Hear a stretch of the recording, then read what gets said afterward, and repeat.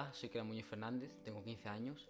Hola, soy Jorge Sousa, tengo 15 años y hemos pertenecido al grupo de Sierra Nevada del 21 al 29 de agosto del 2021. Hemos hecho esta travesía con Amator Cerredo, que es un equipo de montañismo asturiano. Las sensaciones que tuvimos antes de Sierra Nevada fue principalmente de alegría. Íbamos a ir a Sierra Nevada e íbamos a hacer picos de 3.000 metros. Era una sensación increíble, pero también nos abundaba la incertidumbre, ya que era una experiencia nueva y no sabíamos cómo lo íbamos a afrontar. La comida, los kilómetros, era todo un mar de misterio. En principio también teníamos nervios, ya que era situación muy dura, la verdad.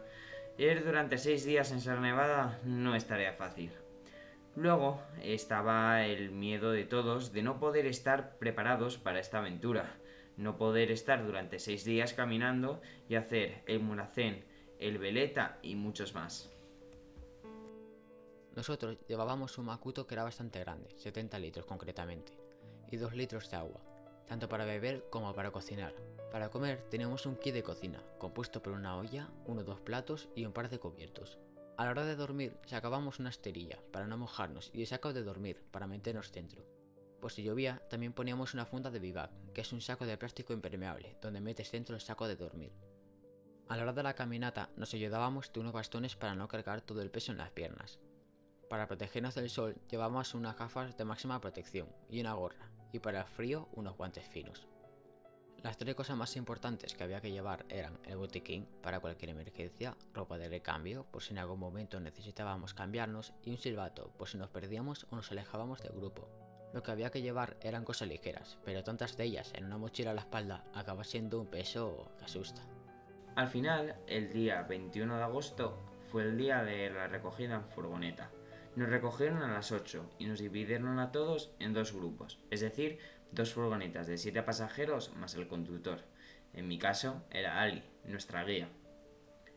¿Cómo pasar el rato? Se lo hicimos contando anécdotas, música de todo tipo y hablando de los nervios sobre el viaje. No sabíamos que nos íbamos a encontrar, no sabíamos si íbamos a estar capacitados para esta aventura y no sabíamos si la comida iba a ser la suficiente.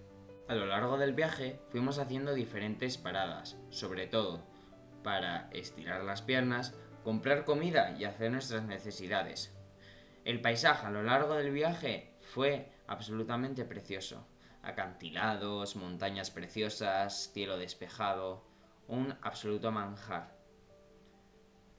El viaje duró aproximadamente 11 o 12 horas y al final llegamos a nuestro destino, Huejar. Llegamos a Huejar por la tarde, sobre las 7. El alcalde nos había dejado dormir durante esa noche en el Teatro del Pueblo, que era una sala enorme. Cuando bajamos de las furgonetas fuimos a explorar las calles y luego a cenar. Todo es hermoso en Huejar. Se veía mucha gente joven y los conciertos de jazz que se tocaban en la Plaza Mayor hacía que todo el mundo se relaje. La gente reunida mientras escuchaban música y tomaban cerveza a los adultos y refresco a los pequeños hacía de la noche la más tranquila que pudiese haber. El cielo estaba estrellado y el ambiente era perfecto. Todos se conocían mutuamente, a pesar de ser un pueblo extenso. Algo que me llamó mucho la atención fue lo barato que era todo.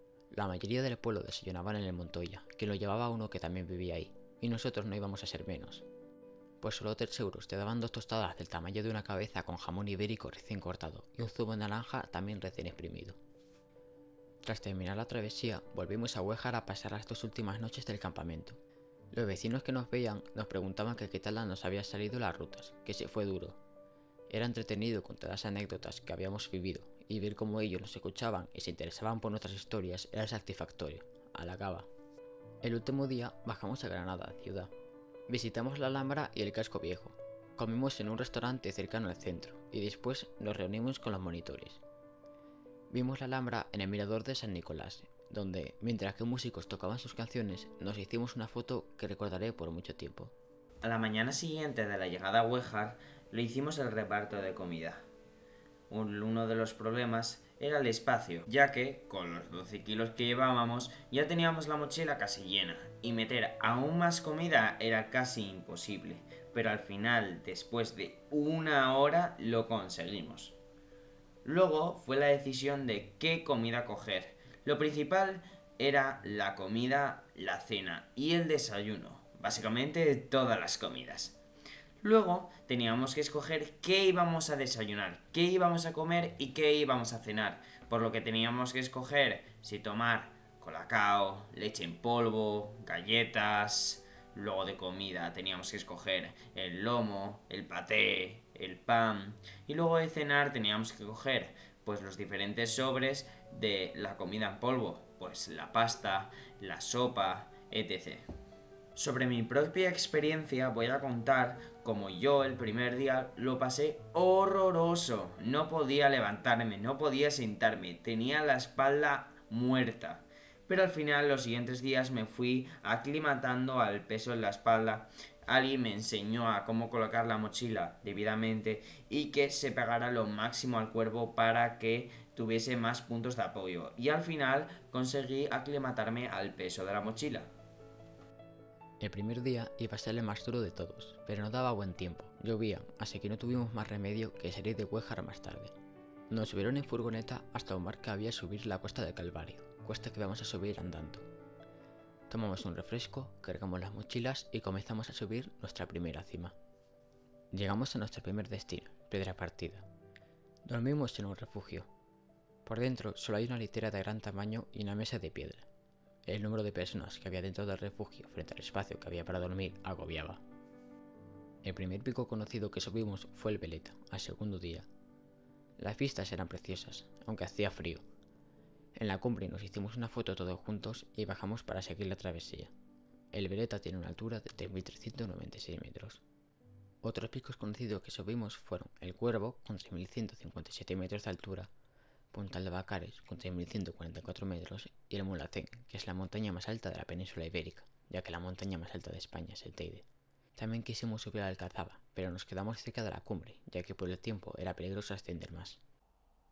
Algunas anécdotas que podría contar es, por ejemplo, cuando empecé a notar la falta de aire.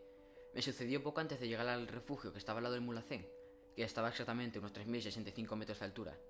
Teníamos que subir un monte, lo bajábamos y ya llegábamos pues en la subida me quedé pues, bastante atrás y como quería llegar a la vez, pues hacer el paso. Y me di cuenta que fue un gran error cuando al cansarme pues empecé a hiperventilar. Y la verdad es que me agobié mucho en ese momento. Y por la falta de aire y todo eso, pues tuve que parar y tranquilizarme, porque es que no podía ni caminar, vaya. Pues al final acabé subiendo el monte y llegando al refugio sin problema, pero bueno, con una experiencia de por medio. Otra puede ser cuando tuvimos que caminar por un camino de unos 20 centímetros de ancho, y que si mirabas al suelo veías una caída vertical de un kilómetro, kilómetro y medio. Era bastante altura. Si no te fijabas en la caída, pues las vistas eran bastante guapas. Aunque, bueno, se veía desde arriba el lago de la Mosca, que era un lago que había en una esplanada enorme, verde, súper guapo todo. El viento pues era bastante fuerte, unos 30-35 kilómetros por hora, y las ráfagas pues nos desequilibraban y pues teníamos miedo a caernos. Era pues agobiante y más de una vez me asusté porque tropecé o me desequilibré. Una de las anécdotas que tengo de Sierra Nevada fue cuando no me pude aclimatar a la altitud. Estábamos a punto de subir el Mulacén y empecé a sentir mareos, falta de aire, dolor de cabeza y principalmente no poder comer absolutamente nada. Al final me tuve que quedar en el refugio con Isabel y no pude subir el Mulacén. Gracias a Ali, la guía me cuidó, me dijo cómo reposar y al final al día siguiente logré hacer mi meta que era el Mulacén, el segundo pico más alto de España. Y luego la mejor anécdota que tengo fue cuando el último día de vivac se nos apareció un zorro, a Víctor y a mí, eh, que había estado intentando hurgar en nuestras mochilas, pero gracias a Dios, como nos habían indicado los monitores, no debíamos de dejar nada abierto, ya que si lo dejábamos algún bolsillo con alguna comida, el zorro lo podía coger. Entonces, por suerte, el zorro se fue con las manos vacías y la verdad es que ver a un zorro tan de cerca es una experiencia que no pasa todos los días. La verdad es que ha sido una gran experiencia. Me lo he pasado genial y aunque hubo momentos de nerviosismo de pasarlo mal, pues sobre todo por la lectura a la que estábamos, en no aclimatarnos bien o por algún imprevisto, no me arrepiento en absoluto de haber venido. Se lo recomiendo a todas las personas que disfruten estando en la montaña, que le gusten los buenos paisajes. De aquí han salido fotos dignas de estar expuestas y ha sido una experiencia que recordaré durante toda mi vida. Quería agradecer a un par de personas. Quería agradecer a Rocío por acompañarnos durante todo el viaje. Ha sido un ejemplo de superación y deportividad. Ha sido la primera mujer en bajar la cara norte del Mulhacén. Nos ha acompañado durante todos los días, en el desayuno, en la comida, en la cena. Nos ha guiado en las rutas, nos ha guiado tanto físico como mentalmente, y sin ella no lo habríamos podido lograr. Luego quería agradecer a Ali, nuestra guía. Nos ha aportado una sabiduría increíble, y sin ella no tampoco lo podíamos haber logrado. Muchas gracias. Luego quería agradecer también a Sagucho, la mascota de Ali. Nos acompañó durante todo el viaje y la verdad es que nos hizo el recorrido más ameno. Y la verdad es que tener un perro eh, al lado de Sierra Nevada yo creo que nos vino bastante bien a la hora de caminar o todas las actividades físicas que hicimos.